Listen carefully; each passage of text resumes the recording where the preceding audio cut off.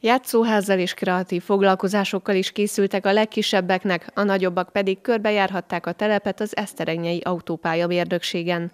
A Magyar Közút nyílt napjára elsősorban a családokat várták, a lehetőséggel sokan éltek. Nagyon sokat járunk az autópályán Budapestre, és úgy gondoltuk, hogy akkor már meg tudjuk nézni közelről ezeket az autókat, amik mellett igazából csak úgy elmegyünk. A géppark járműveire fel is lehetett szállni, közben pedig a közút munkatársai meséltek a munkájukról és arról, miként biztosítják a balesetmentes közlekedést a mindennapok során. Mindig van az évszaknak és a, a, az éppen aktuális hát időnek megfelelő feladat. Télen nyilván ugye mindenki tudja, hogy toljuk a havat, tisztítjuk a pályát, nyáron kaszálunk, javítjuk a korlátokat, az úttartozékokat, szóval igaziból nagyon változatos, üzemeltetjük a pihenőhelyeket az autópálya mellett, mindig van munkánk bőven, tehát burkolatokat helyreállítjuk, sok munkánk van.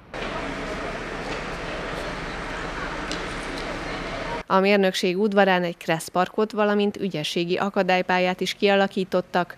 A szervezők szerint ugyanis nem lehet elég korán megtanítani a gyerekeket a biztonságos közlekedés szabályaira.